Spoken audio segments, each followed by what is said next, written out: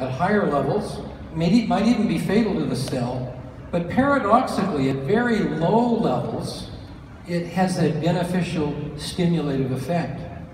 And because of the low bioavailability of polyphenols as a group, they are able to stimulate this hormetic effect. They may actually be toxic if you took them at high enough levels, but we can't simply can't get enough into our cells to create that, that problem.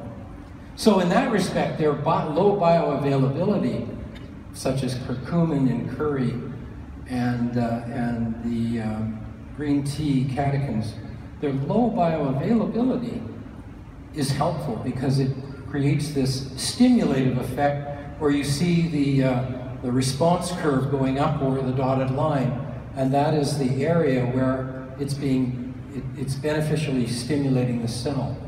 So this process of hormesis is actually occurring um, through the foods we eat. And what is happening is this. I want to talk